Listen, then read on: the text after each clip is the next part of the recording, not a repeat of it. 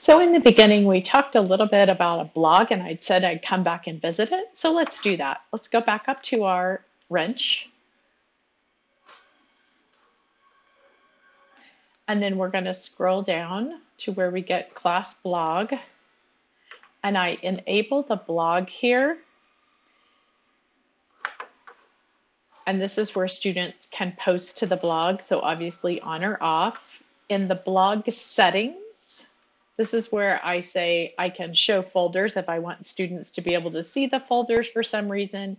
I can enable comments on the class blog so they can make comments back and forth to each other in a collaboration. I can password protect my blog, which is a good idea so the kids know here's the password for the blog and then no one else can see it except for your students who have the password. Let's go back. Um, and then also um, I can change my blog appearance. So same way that I did the front, I can have a name for my blog. Here's how you would log in. Lisa L class is my login, blog.seesaw.me. And I could describe the blog here. I can add a header if I want to. I can either upload an image that I currently have um, and select it from my computer um, or I could use a camera to take a picture so that I can personalize my blog.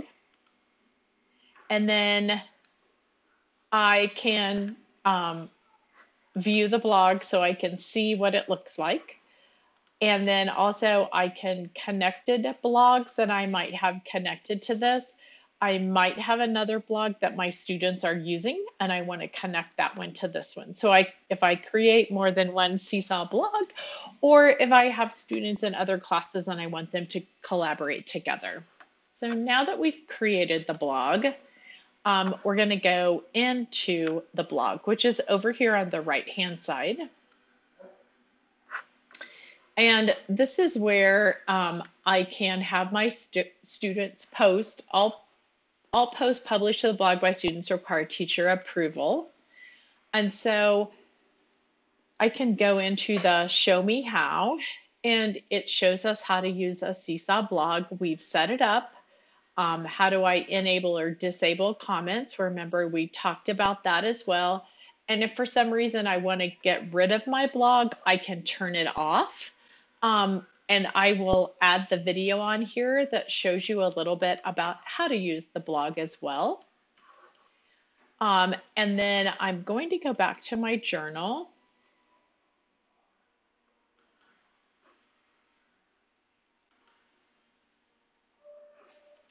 And I'm going to put a note to my students. Um, today, can you open the blog and tell me how you are feeling after feeling today and what you are excited to learn. So again, whatever I want. So I'm going to type the note and I could also record what I wanted to say as well for my students. We've talked about that before. I'm not going to. Go ahead and click the button. Um, so I can put the assignment. I'm going to assign it to all students in my classroom. And actually, I'm going to take a few people off. And then it's assigning to all students that are in my classroom. And then as the sample student, I see this and down here, I have the ability to click on the blog symbol and I would open that up. Um, and I'm going to publish it to the blog so my students can see it. And then when I go to look at my blog, notice that that's there and students can then make comments. Um,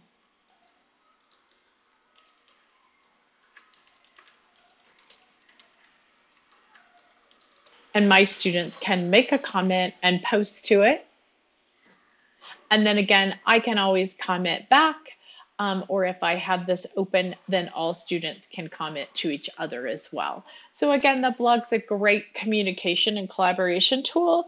Um, maybe just a way for students to talk with each other, have conversations, talk about books, how are they solving a math problem, maybe something from their literacy unit, or um, maybe we're talking about something in social studies and we want everybody to weigh in with their opinion on that. So, again, just a great tool to use. And the blog is not live until you've gone up to your settings and turned that on and set up the password for all your students to have access to that.